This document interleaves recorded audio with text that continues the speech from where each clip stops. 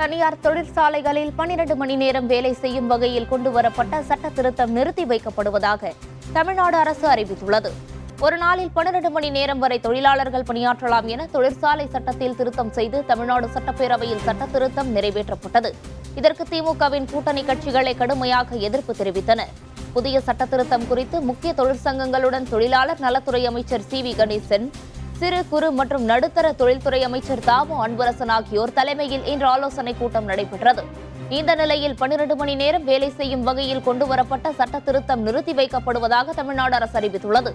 தொழிலாளர் நலன் காக்கப்பட்டால்தான் தொழில் அமைதி நிலவும் என்பதை உணர்ந்து அரசு செயல்படுவதாக முதலமைச்சர் மு ஸ்டாலின் தெரிவித்துள்ளார்.